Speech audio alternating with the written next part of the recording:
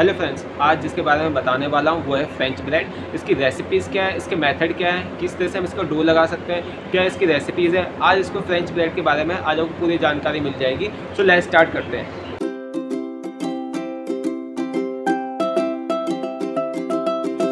नमस्कार दोस्तों, मैं आपका दोस्त chef D S Mehra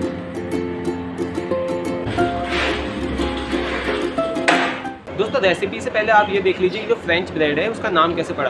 देखिए दोस्तों, जो फ्रेंच ब्रेड है या फ्रेंच बकेट है एक्चुअली ये फ्रांस से बिलोंग करती है। तो तभी से इसका नाम फ्रेंच बकेट या फ्रेंच ब्रेड इसको बोला जाता है। तो ठीक है तो दोस्तों, जो फ्रेंच बकेट की रेसिपीज़ है, वो मैंने आपके सामने लिख दी है। अब इसको किस तरह से बनाएँगे, क्या इसके मैथड यूज़ करेंगे, क्या इसकी डो की होनी चाहिए वाटर वगैरह तो उसके बारे में बता दूँगा। ठीक है तो सबसे पहले देख लीजिए मैदा लेंगे दोस्तों। चाहे आप मैदा से स्टार्ट करते हैं, जो भी हमारा फ्रेंच का, हमारा जो भी अपने ब्रेड्स का काम होता है मैदे से स्टार्ट करते हैं या फिर हम आटे से स्टार्ट करते हैं। अगर आप बेसिकली आटे से भी बनाना चाहें तो मुझे नीचे कमेंट में बता देना। मैं उसकी भी एक रेसिपीज़ बना दूँगा। तो ठीक है, सबसे पहले आप एक किलो मैदा यूज़ करेंगे।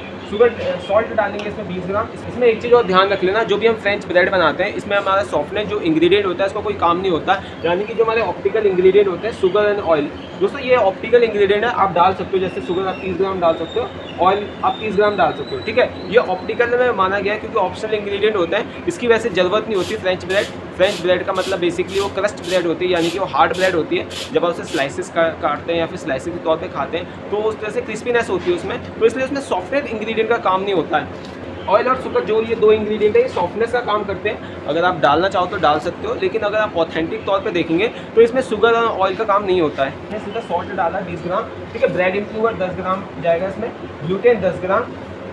मैंने ये भी बताया हुआ कि ब्रेड इम्प्रूवर क्या काम करता है ग्लूटेन क्या काम करता है तो इसके अलग अलग काम है, ठीक है? ईस्ट जाएगा इसमें तीस ग्राम। जो ये ईस्ट है, ये फ्रेश ईस्ट यूज़ करी हुई है फ्रेश ईस्ट बहुत जल्दी काम करता है, ये इंस्टेंट ईस्ट और अपनी ड्राइनेस जो ड्राई ईस्ट होती है इससे बहुत जल्दी फ्रेश ईस्ट काम करता है। तो इसलिए मैंने फ्रेश ईस्ट फ्रेश ईस्ट डाली हुई है। ठीक है, अगर आप इसमें इंस्टेंट ईस्ट और ड्राई ईस्ट डालते हैं तो इंस्टेंट ईस्ट में करीबन 10 ग्राम जाएगा और ड्राई ईस्ट इसमें आप 10 ग्राम डालना, ठीक है? ये ड्राइनेस की बात कर रहा हूँ जो मैं ड्राई ईस्ट की बात कर रहा हूँ, लेकिन अगर आप फ्रेश ईस्ट डालोगे तो 30 ग्राम डालना है इसमें, और वाटर जाएगा इसमें पाँच सौ पचास दोस्तों, जो वाटर लोगे आप ठंडा यूज़ करना, क्योंकि जो अभी जो भी अपना समर का टाइम चल रहा है मतलब इतनी जो गर्मी पड़ रही है तो इसके हिसाब से हमें ठंडा पानी यूज़ करना पड़ता है। नहीं तो अगर आप ठंडा पानी नहीं यूज़ करोगे, इससे ये होता है कि जो हमारा जो डो होता है, वो जल्दी गर्म हो जाता है। उसको मतलब डो नीडिंग होते होते वो बहुत जल्दी गर्म होता है, यानी कि हमारी जो ईस्ट होती है, वही फर्मेंट होना स्टार्ट कर देती है। तो इस चीज़ को हमें रोकने के लिए हम उसमें कोल्ड वाटर यूज़ करते हैं, जिससे कि हमारी जो ईस्ट है, वो उतनी जल्दी फर्मेंट ना हो पाए, और जो हमारा डो है, उसको हम अच्छी तरीके से निकाल के डिवाइडेड करके मोल्ड में डाल के, तब जाके वो फर्मेंट हो। इस चीज़ के लिए हम इसे कोल्ड वाटर यूज़ करते हैं। आपको सिंपल सी रेसिपी समझ में आ गई कि मैदा कितना लेना salt bread improver gluten yeast और वाटर ठीक है, ये हमारे जो है मेनली इंग्रीडियंट होते हैं। और मैंने आपको बता भी दिया कि जो हमारे ऑप्टिकल इंग्रीडियंट में क्या क्या होते हैं शुगर एंड ऑयल ये जो हमारे दो इंग्रेडिएंट होते हैं, ये ऑप्टिकल इंग्रेडिएंट माना जाता है। डालना नहीं डालना, वो आपकी मर्ज़ी। अगर आप डालना चाहो स्वीटनेस में थोड़ा रखना चाहो, थोड़ी ब्रेड सॉफ्टनेस करना चाहो तो उस चीज़ के लिए आप दो इंग्रेडिएंट यूज़ करना। नहीं तो वैसे कोई ज़रूरत नहीं है, ज़रूरत नहीं है इस चीज़ की कि आप शुगर और ऑयल का यूज़ करोगे। ठीक है दोस्तों, ये आपको चीज़ समझ में आ गई कि रेसिपी किस हिसाब से लगाना है, आपको पानी किस तरह से लेना है ब्रेड इम्प्रूवर की ग्लूटेन क्यों लेना है। मैंने आपको ये भी बताया हुआ है कि ग्लूटेन और ब्रेड इम्प्रूवर यूज़ नहीं करोगे तो फिर भी हमारा जो डो है या फिर जो हमारी ब्रेड है, वो आ सकती है। लेकिन लेकिन ये बहुत अच्छा काम करती है ब्रेड ग्लूटेन इसको आप डाल सकते हैं। बाकी मैंने आपको बताया हुआ कि ऑप्टिकल इंग्रेडिएंट में आप डाल सकते हो, जो अगर स्वीटनेस बढ़ाना चाहो सॉफ्टनेस बढ़ाना चाहो ब्रेड में फ्रेंच ब्रेड में तो उस चीज़ को आप डाल सकते हो। अब देखो, दो कैसे करना है? ऑल इंग्रेडिएंट दो। जैसे कि आपको ऑल जितने भी हमारे इतने इंग्रेडिएंट हैं, इसको एक साथ आपको मिक्सिंग कर देनी है यानी कि अपना दो तैयार कर देना है डिवाइडेड कर लेना, यानी कि हमारा जब डो जब हमारा नीडिंग हो जाता है तो उसको डिवाइड करना होता है, क्योंकि हमें अलग अलग तौर पर ब्रेडें बनानी है ना तो उसको डिवाइड कर लेना। है दो से तीन सौ ग्राम के बीच में, दो सौ ग्राम रख लेना, ढाई ग्राम रख लेना, तीन सौ ग्राम। बस उससे ज़्यादा मत रखना दोस्तों, क्योंकि जो ब्रेड होती है बहुत ही लोफ तरीके से बनानी पड़ती है तो वो ज़्यादा उठ के आएगी तो अच्छा नहीं होगा। लेकिन आप स्टार्टिंग में अगर आप देखना चाहें, बना के देखना चाहें तो उस चीज़ के लिए आप 200 से 300 ग्राम अपनी ब्रेडें यूज़ करना।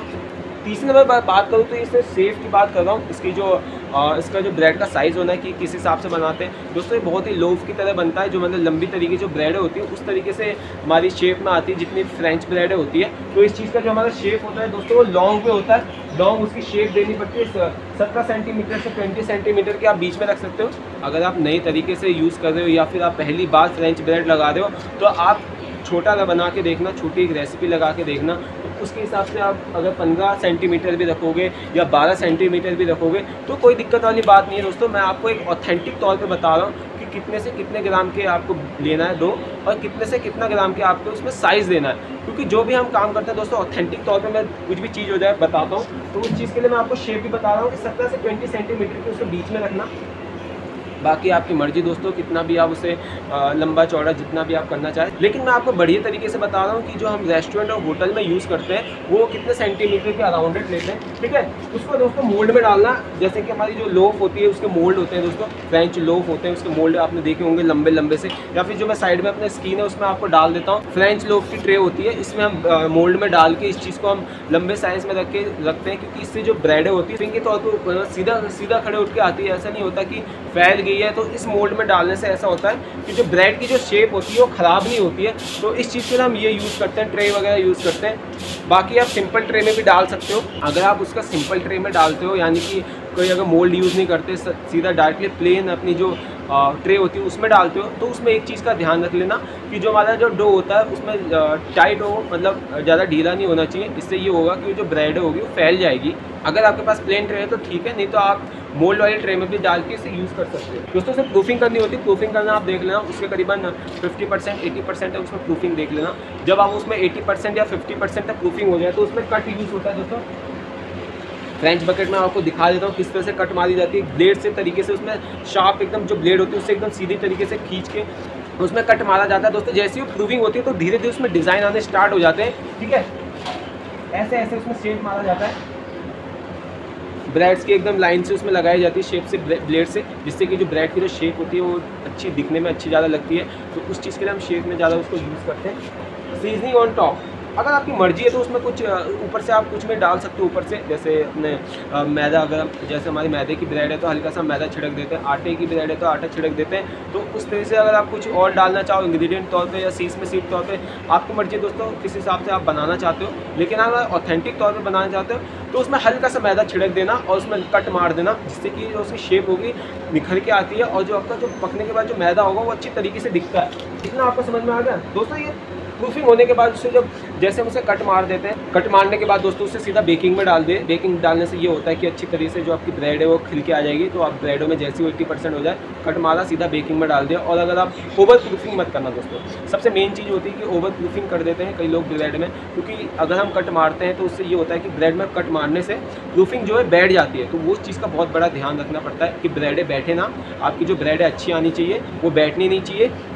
ठीक है, उसको उसी इसीलिए उसको सही वक्त पे उसका कट मारना बहुत ज़रूरी होता है। अगर आप उसे ओवर प्रूफिंग करते हो तो उससे ब्रेडें जो कट मारने में बैठ जाती है। और अगर आप अंडर प्रूफिंग करोगे तो वैसे भी उठेगी नहीं, क्योंकि वो जो उसकी शेप है, जो कट मारे हो, वो सब ख़राब हो जाएगा।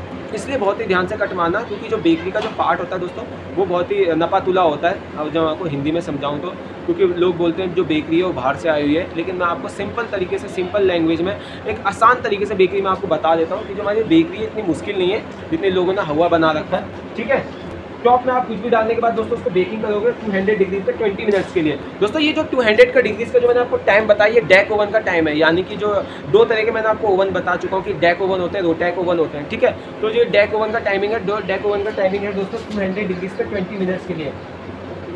इसमें एक चीज़ और दोस्तों, इसमें स्टीम मारी जाती है। स्टीम अगर आपके पास नहीं है तो हल्का सा पानी छिड़क दिया जाता है। वो भी नहीं है तो ठीक है, कोई बात नहीं, आप ऐसे सीधा बेकिंग में डाल सकते हो। लेकिन अगर ऑथेंटिक तौर पर बताऊँ तो बेकिंग में डालने से ब्रेड स्टीम मारी जाती है, करीबन एक दो उसमें स्टीम मारी जाती है, पाँच छः सेकंड की। उसके स्टीम मारने पर जो ब्रेड की जो मॉइस्चर है, उसमें आ जाता है। और अगर मैं आपको रोटैक ओवन की बात बताऊँ, कि रोटैक ओवन किस तरह से काम करता है। देखिए रोटैक ओवन बहुत जल्दी कुक कर देता है, क्योंकि उसमें ऑलरेडी मैंने आपको बताया कि फ़ैन लगे रहते हैं तो बहुत जल्दी ब्रेड्स हो जाए, कोई भी डेजर्ट हो जाए, वो बहुत जल्दी कुक कर देता है। तो अगर आप उसे अगर दो टैक ओवन में डालते हो तो दोस्तों करीब अट्ठारह से लेकर पंद्रह मिनट में वो बेकिंग कर देगा और वो पंद्रह मिनट के अंदर आपकी ब्रेड जो है निकल जाएगी और उसे ज़्यादा देर तक मत पकाना क्योंकि जो उसकी क्रिस्मनेस होती है वो ज़्यादा जल जाएगी तो इस चीज़ का ध्यान रख लेना। ये दो टैक ओवन की बात कर रहा हूँ कि बहुत जल्दी पका देता है अठारह से पंद्रह मिनट के बीच में आपकी जो ब्रेड है वो बाहर आ जाती है। सो आई होप दोस्तों जो मैंने आपको फ्रेंच ब्रेड के बारे में बताया या फिर फ्रेंच लोफ के बारे में बताया, आपको समझ में आ गया होगा। और आपको कोई भी क्वेश्चन है तो नीचे कमेंट में ज़रूर बताना, मैं उसके आंसर ज़रूर दूँगा। फिर मिलेंगे नेक्स्ट किसी नॉलेज और रेसिपी में। मुझे दी इजाज़त। जय हिंद।